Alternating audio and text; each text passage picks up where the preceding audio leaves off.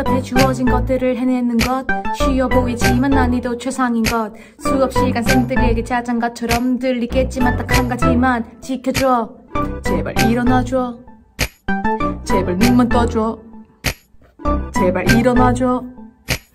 제발 눈만 떠줘 수업 종이치기 5분 전 난 교실의 광경이 눈에 환해. 난 커피로 카페인 100% 충전 있고 쌓인 볼트에게 방전 에이. 종소리는 들리지도 않는지 교실을 뛰어다니는 게 완전 초딩하는 짓 얘들아! 하고 불러봐도 돌아오지 않는 대답은 외로운 메아리 분명히 나는 중학교 선생님인데 내 앞에 왜 초딩 9학년 같은 거요? 왜? 출석 확인 책 확인 책책책 하면 남은 수업 시간은 고작 35분. 드디어 수업 시작하는데 화장실 간다고 하는 너는 대체 뭔데? 지금 교과서 빌려도 되냐는 질문 왜 이리 당당히 소리치는지 난 의문. 눈앞에 주어진 것들을 해내는 것 쉬워 보이지만 난이도 최상인 것. 수업 시간 쌤들 얘기 자장가처럼 들리겠지만 딱 한 가지만 지켜줘.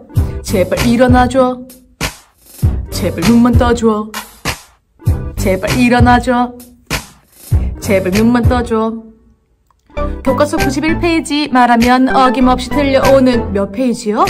91페이지 다시 말해줘도 몇 페이지요?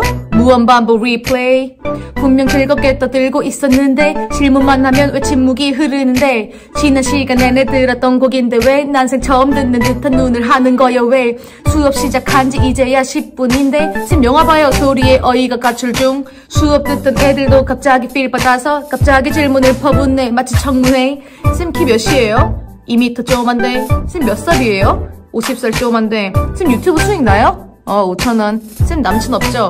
별점 5점. 눈앞에 주어진 것들을 해내는 것. 쉬워 보이지만 난이도 최상인 것. 수업 시간 쌤들에게 자장가처럼 들리겠지만 딱 한 가지만 지켜줘. 제발 일어나줘. 제발 눈만 떠줘. 제발 일어나줘. 제발 눈만 떠줘